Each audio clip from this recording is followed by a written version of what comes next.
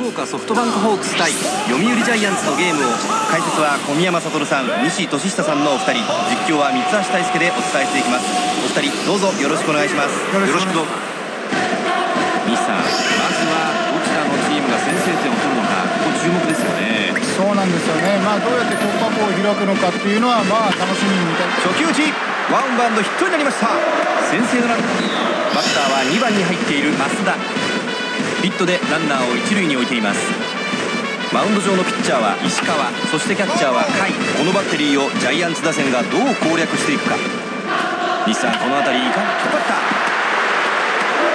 ジャイアンツチャンスになりました。ノーアウトランナー二塁一塁さあそして打席には坂本が入ります。さあ得点圏には先制のランナーを置いています。まあ先手を取って進めるためにも得点しておきたいですね。うんなるほど。そうですよね。うん中途半端なバッティングに閉鎖するのだけは打ちました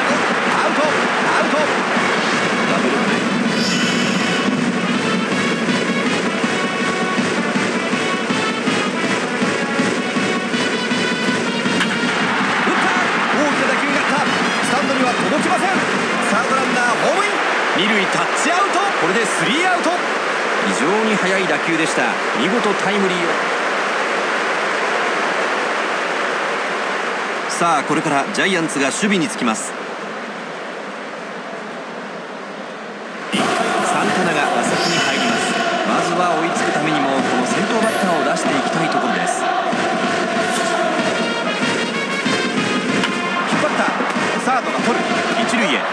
アウトワンアウトです。バッターは2番に入っている中島。山本まずは先頭バッターを打ち取っています。さあ初球は何か。さあ空振り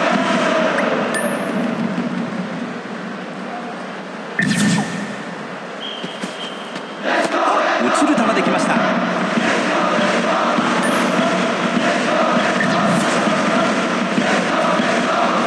インサイド打ちました。わずかに左に切れました。ファールボール。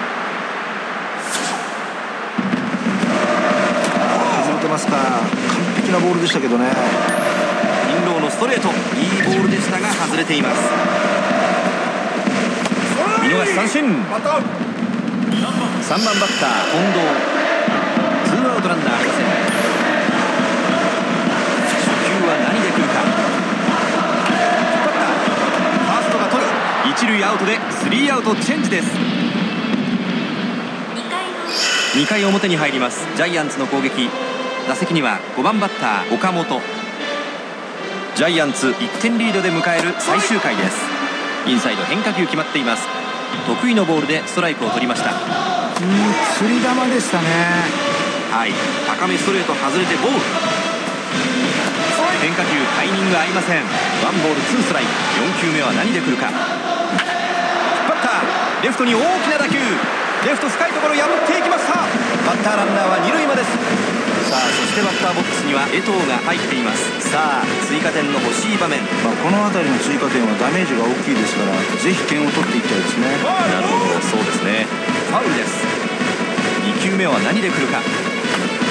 さあどうだ？ファールグラウンドへのフライです。ファーストがファールグラウンドで抑えてアウトさあそして打席には丸が入ります。さあアウトカウントが1つ増えましたがなおもチャンスは続きます。まあこういった終盤の追加点は重要です。スタンドファウルボール。ワンストライクです。外へ持っていきましたが入りません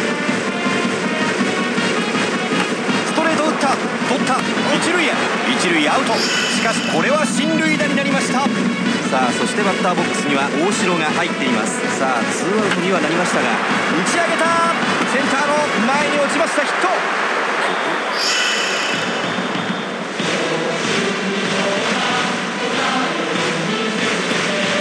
インサイド落ちました。破りました。センター前。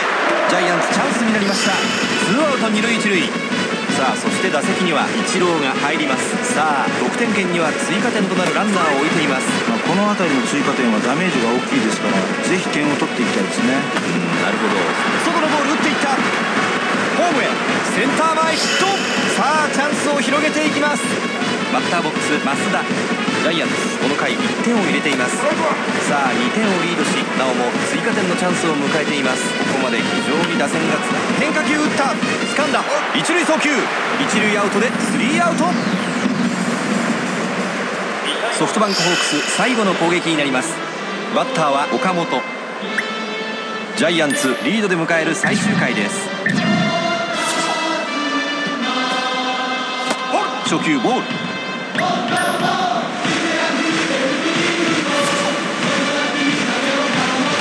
ちました。中田一塁そのまま入ってアウト。打順は5番牧原。山本まずは先頭バッターを打ち取っています。バントしました。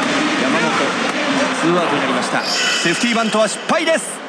打順は6番磯端ツーアウトランナーありません。この回の山本早くもツーアウト。まだ3球しか投げていません。そうです初球打ち。ファウルになります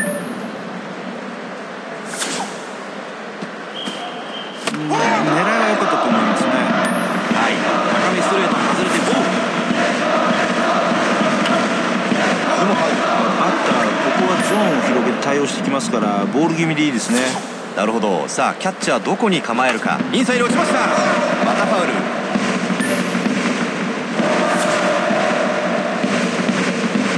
低めの変化球です。